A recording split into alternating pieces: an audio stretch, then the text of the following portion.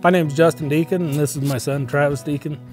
We're both full-time engravers at Montana Silversmiths. As far as the engraving end of it, my brother Jesse Deacon started the whole thing. He started it when he was a young man in Wickenburg, Arizona, working for a guy named Jim Custer. And uh, eventually we brought our trade to, to Montana. Um, uh, he taught me, and, and I'm teaching my son. Being an engraver is kind of a coveted thing, you know. I mean, there's there's no schools. You you can't go to school and learn how to be a hand engraver. You have to have somebody, you know, to apprentice. And my brother kind of forced me into it.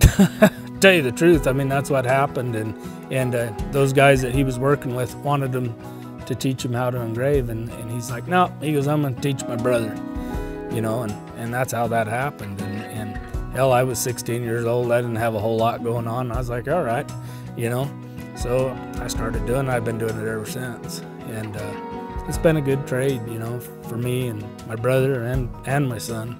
I have a letter at home that he did in like his first grade, and he, he said, when I grow up, I want to be a hand engraver like my dad and my uncle. And and I, you know, I thought, hell, it's just a kid, you know, talking. And ever since I was a little tiny kid, ever since I knew what engraving was, that's what I wanted to do. My uncle did it, my dad did it, and uh, as soon as I turned 16, they brought me in as an apprentice, and uh, it was just a dream come true. You know, I, I didn't know what I was walking in really. I didn't know what to expect, and uh, got a wake up call pretty quick. But it's it's been pretty unreal being able to, in my opinion, learning from the best in the world, my uncle and my dad.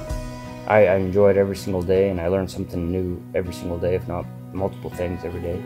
The father of our style of engraving is named Fran Harry. He's the guy that invented our style of engraving. He did it his whole life and died. Nobody even knows who he is except people like us that are carrying that tradition on. And uh, he was a true master, that guy was. Each individual guy that engraves is, their engraving's like a signature or handwriting. I mean, you can hand me a buckle and say, who engraved that? And I can tell you who engraved it, you know, just by looking at it the hand engraving end of it is a is a lost art. You know, I mean, the actual hand cutting, hand engraving. There's only a handful of guys in the whole world that are doing that now.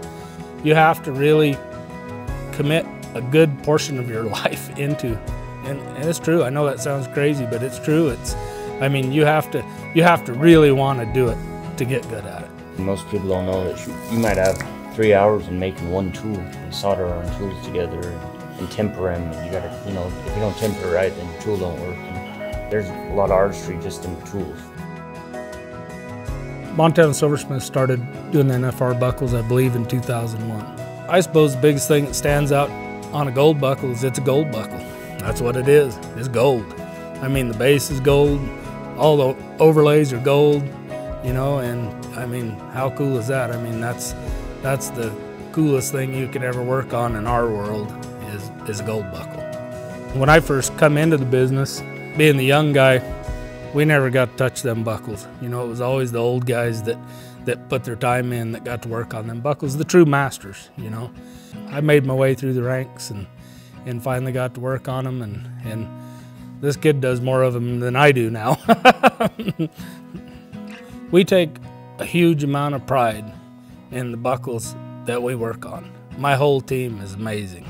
I mean, every one of them. And we put everything into those buckles that we can. Each one of those buckles is individual. I mean, there's no two gold buckles the same. You know, the two team roping buckles are different.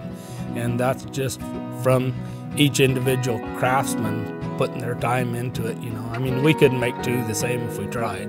From the beginning of that, I mean, you're you're talking about pantographing parts out and guys hand sawing it to to the fabricators hand soldering. I mean, that's an art all on its own. Just just guys soldering, you know. I mean, it, it takes a long time to learn, and from polishing to engraving to to the finished product. Mean, that that's kind of a short story, but and it's each individual person that touches that buckle that makes it what it is. You know, our group is a is a really small, specialized group. There isn't a huge amount of people that work on them buckles, because those people that touch those gold buckles, they're they're the best we got. You know, and not everybody can come work on one of them buckles. Every buckle does have a story because everyone is individual, just like the individual that wins it. And the amount of craftsmanship that we put into it is a story in itself. And then the guy winning the buckle, it's a big story for him. The years of devotion you have to put into to learning how to bright cut engrave is, is just like one of these rodeo guys making it to the NFR. It's the same kind of thing. I mean, to get to that level, you got to put your time in.